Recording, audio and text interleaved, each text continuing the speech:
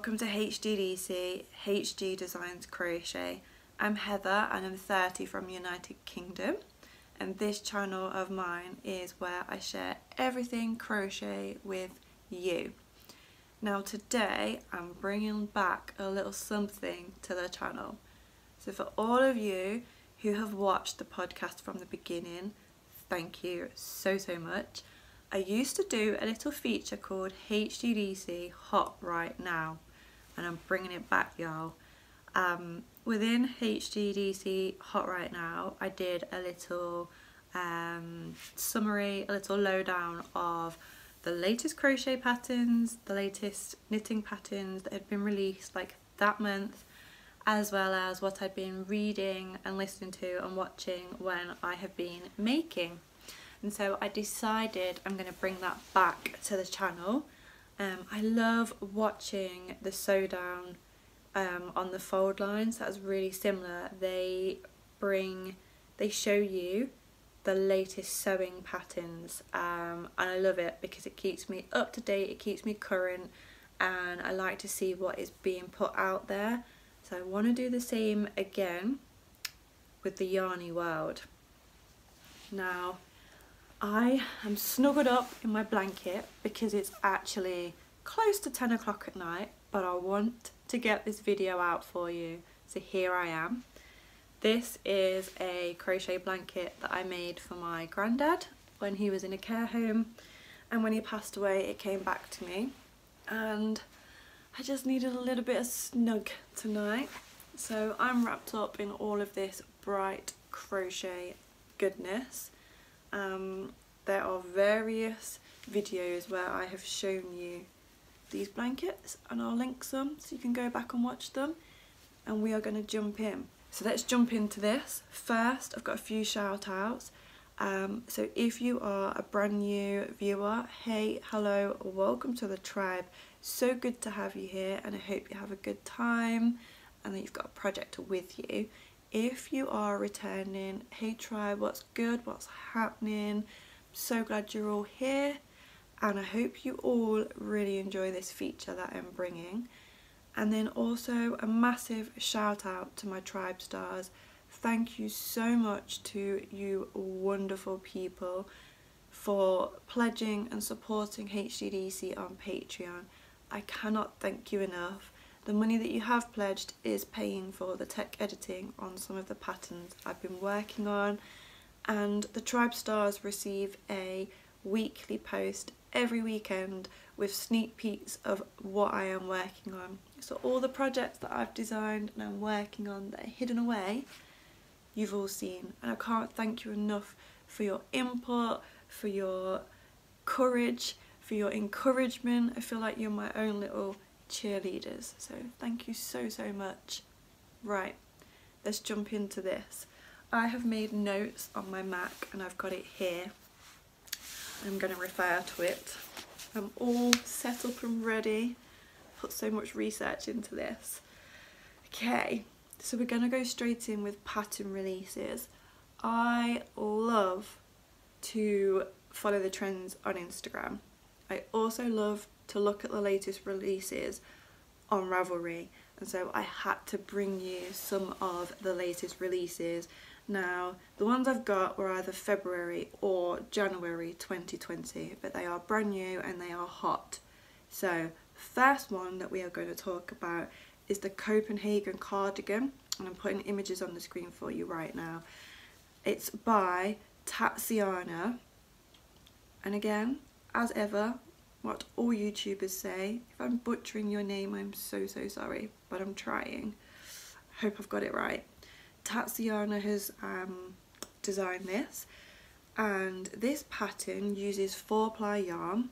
It's a 3.5 mil hook and the pattern comes in sizes small to 3XL which is great um, and the pattern's available in English and Dutch. Now I really like this pattern because it's got a cable and then like an open lace work design down the front which really it just makes me think of Aran knitting and I'm all about that and I like that this is actually a crochet design It doesn't look bulky, which sometimes crochet items can look bulky.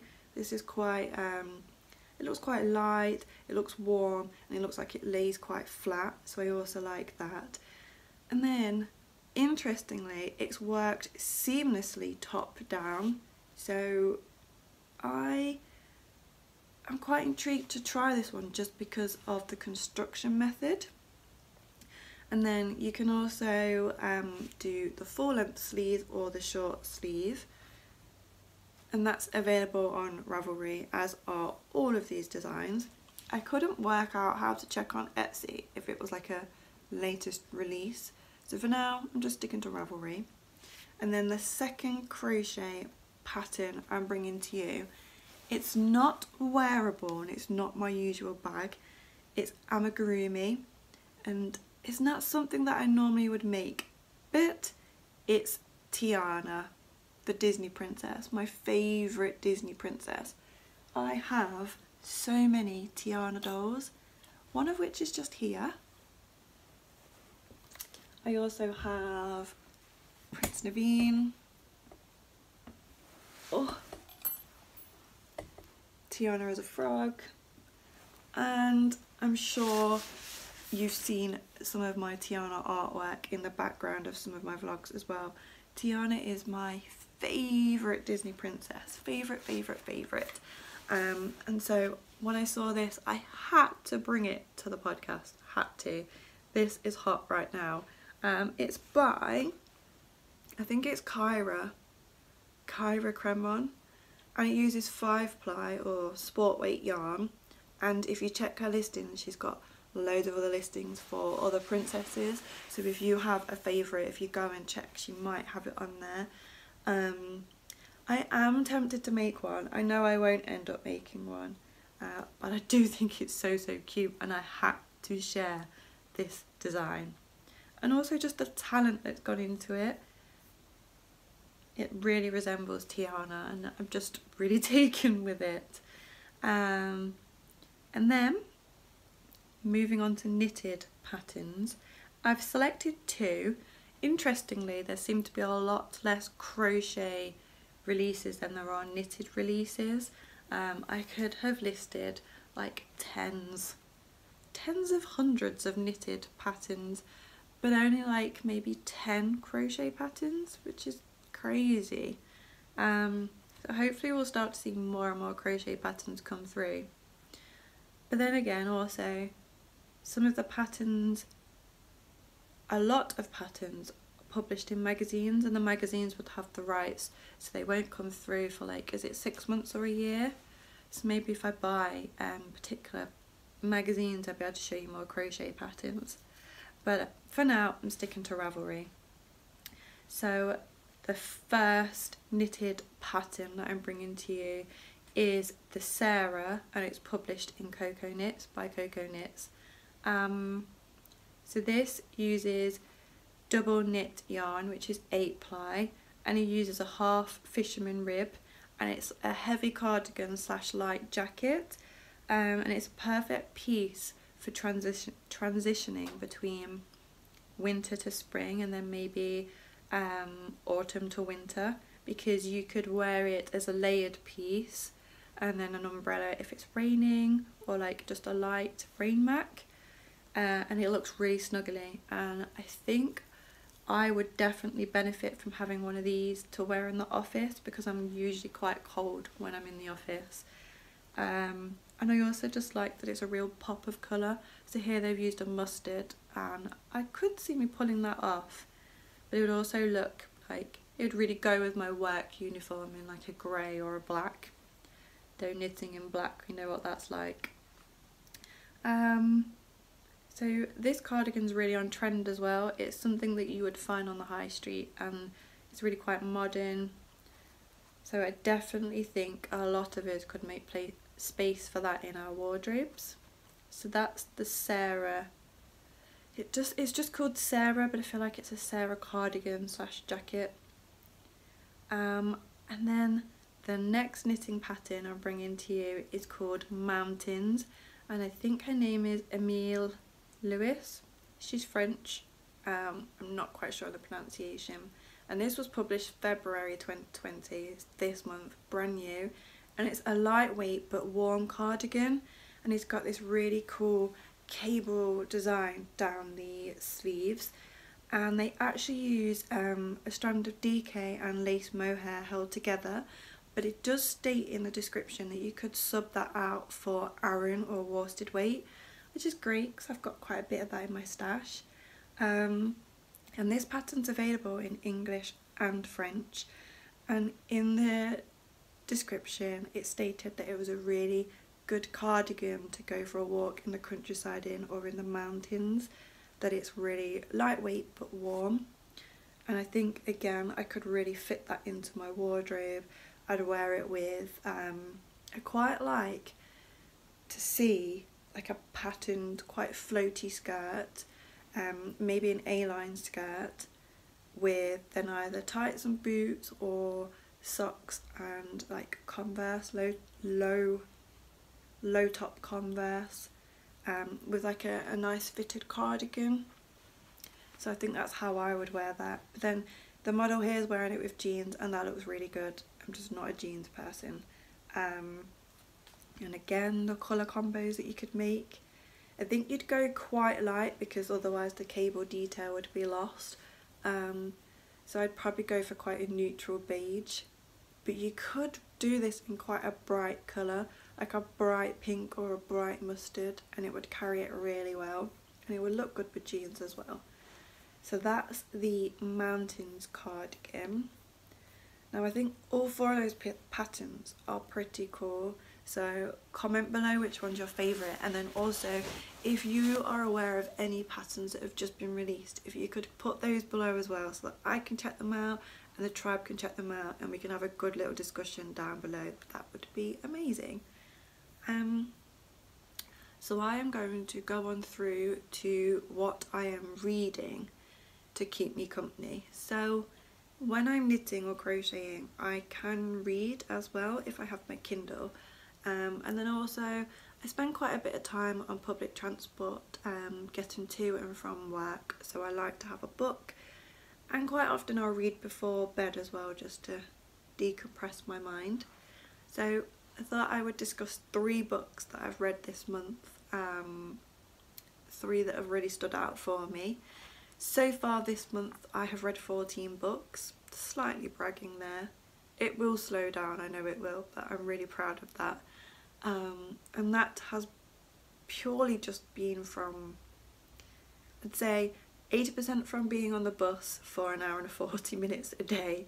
Um, then I've got I spend a bit of time on my lunch break and then if I have a bath I will read in the bath so plenty of reading time has been going on and I like to read all different types of books and I always love to receive recommendations, suggestions and reviews. So the first book this month that I am recommending to you is Harry Potter and the Deathly Hallows. Now this is book 7, volume 7 in Harry Potter's Adventure and Life.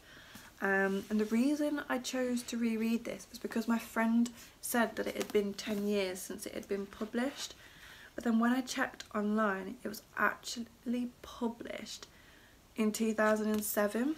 So it's over 10 years because that would have been 2017. But when I realised it had been so long, and then I realised that I'd only read it once, I knew I wanted to reread it. Now, I'm not the type of girl to read a series from book one to book seven all the way through. Um, I will read a book in a series and then I'll go off and read some other books elsewhere and then I'll come back and read the next one in the series. I think maybe once I've read like bum bum bum bum and for me I find that the story really merges together. I lose where I am in the series and I just don't enjoy it as much. Um, and so a little bit like my whips, I like to flip from different books, just like I do with my whips, until they're done. I'm so glad I picked this one up again. Um, I have tried a few times to start with book one and work my way through to the end, but I've never got to the end again. So this time I decided I'm going to start with the end and work backwards. So at some point I will pick up book six, The Half-Blood Prince, and reread it. Now, I recall this book being really heavy going and quite depressing because there wasn't so much the magic but it was the escaping from you know who and then also the loneliness of them being on their own and um, the author really had to portray how difficult it was for them. So it, was, it felt a little bit heavy um, and so it always put me off reading it again. But in actual fact rereading it, um, although it is a little bit heavy, I really enjoyed it because it is so different from the films, so different. Um, there's so much more information in here and backstories to some of the characters and it really ties so many different elements together to finish the story. Um, for example, Kreacher, the house elf of the Black family, we hear about how brave he's been and some of the heartache that he's been through and you really do have a whole lot more compassion for him um, especially hearing about Master Regulus Black's death and then knowing that Kreacher comes to fight in the Hogwarts battle at the end. And none of that's in the book, it's um, in the film, it's such a shame. So yeah, I really enjoyed this. It's quite hefty, it's 600 odd pages long, but it's definitely one to reread. Um, and it was just really nice to read the bit the 19 years later when they've got their own kids. Excuse me. And also it touches upon the battle with Grindelwald, a little bit of Dumbledore's past with his sister, and I feel like you need to refresh your mind on that so that you can really enjoy the Fantastic Beast films. So that was one book I've devoured this month. Another book that I have leapt into is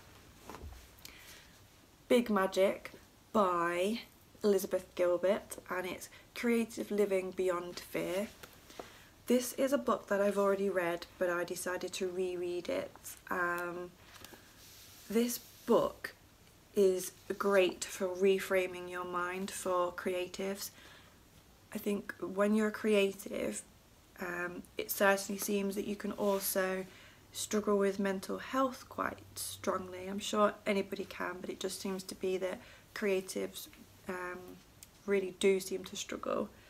And I think part of that is um, having issues with your self-belief, maybe you've got doubts. Um, and this book really helps you to reframe your mind away from fear over creativity to um, encouraging it and embracing it um, enjoying the uncertainty and just really working with it and it was a really good book to pick up and get into again.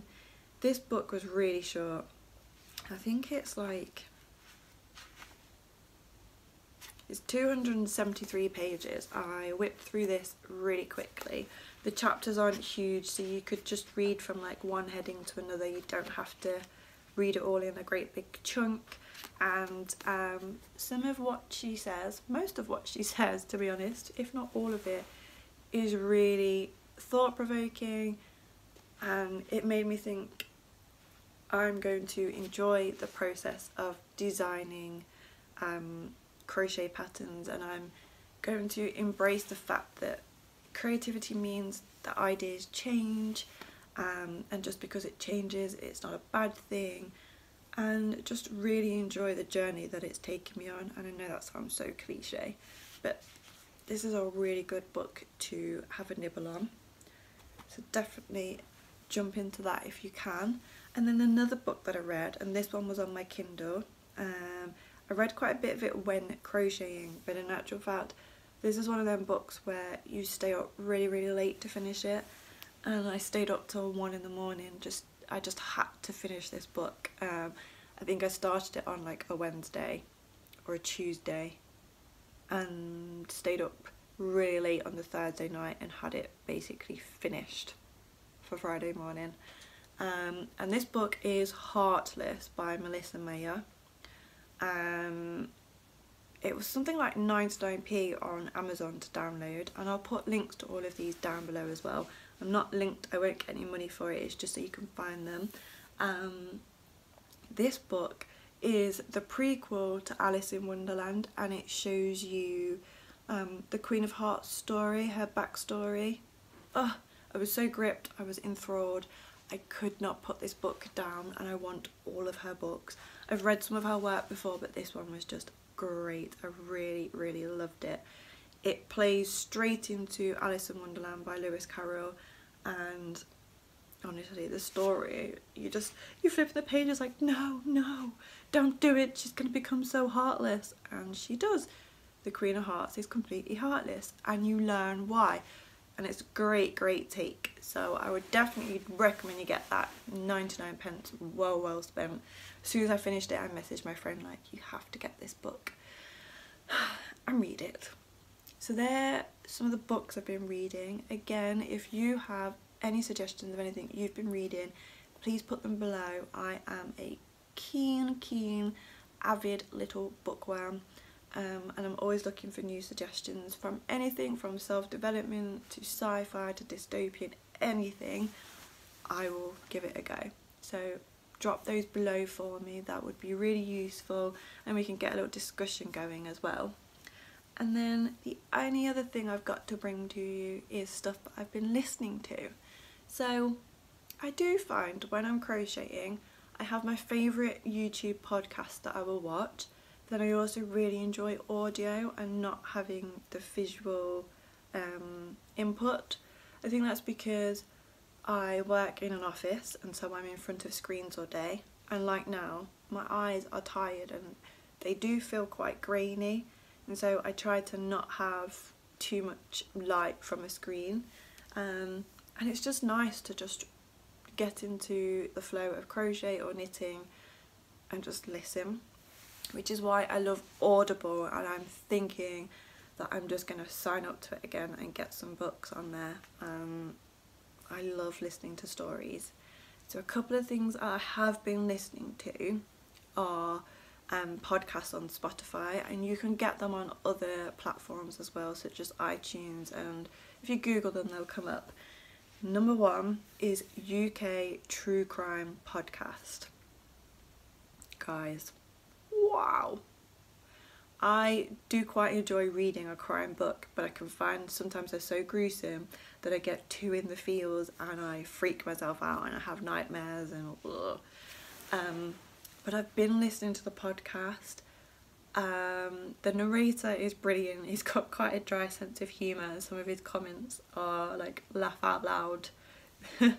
um, he spends quite a lot of time researching the facts from um, I think he might read the judgments and the court cases in some instances and then he definitely reads newspaper articles and then he tells you the story behind the crime and there's a new episode every Tuesday and I have binged on this um, podcast. I have almost listened to, I think there's like, say there's 200, I've listened to at least 150 and I only started on them about two weeks ago. Um, there are a few that I, I cannot listen to because they're too similar to like my scenario, like walking through the woods and then someone's murdered. I love walking the woods. I can't listen to that. Um, but some of them, the crimes are truly horrific. Most of the ones he covers are solved. Some of them are unsolved. And in all honesty, some of the crimes that you hear I, I will never understand because I don't want the mindset of a criminal, but I do not understand. For example, um, wife decides she doesn't want to be with husband, so her and her new boyfriend hatch a plan to kill the husband so they can start a new life. I mean, what could go wrong? How how possibly could you not get found out and not go to, to prison? I, pff, I just don't know. So I have been binging that um, and now I'm at a point now where I'm tuning in every Tuesday to keep up with them. I know there's also a Patreon group as well and I'm I am I think I'm going to sign up to that next month. So every month I sign up to a new Patreon. I've got um, two regular ones and then I try something new every month.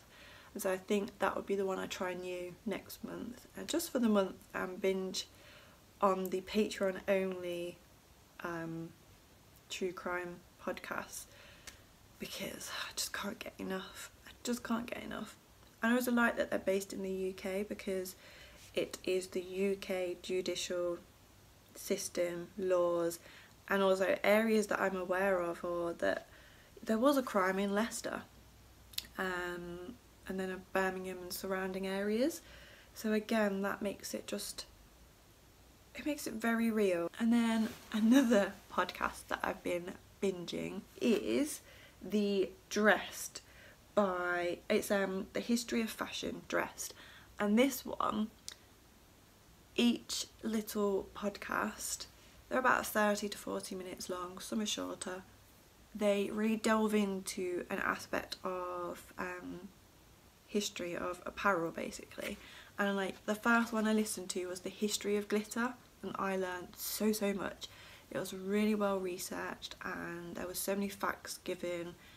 So this is one definitely to keep dipping in and out of.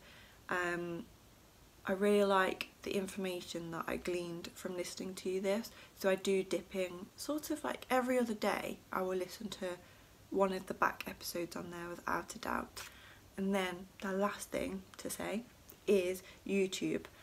So one of my latest discoveries is You Got Paged and she is a wedding dress designer. Oh my goodness the things she makes. Oh. I could lust after most of those dresses. Um, I recommend you go and watch her office tour because oh my goodness her office is amazing. It's just goals. Like her she's wallpapered the walls with the pictures of her published um, dresses. So when they've hit like a magazine or they've done a photo shoot for them she's put that picture on the wall. It just looks amazing and it's goals because she's got this thriving huge business and it's all based off her passion. And I would love to do something like that with HGDC would love to. So that's another thing to check out. So tribe that is HGDC hot right now. This hand has really been going this podcast. Wow. Um thank you so much for watching. Please comment below with any um any patterns you've seen that have been released, I didn't mean to do that, any patterns that have been released, anything you're reading and anything you're watching or listening to. I'm going to go, I'm going to take my contact lenses out and I am going to work on my secret project. So if you want to hear more about that, then become a tribe star on Patreon, the link's below, and I will see you in the next video. Happy making moments and memories!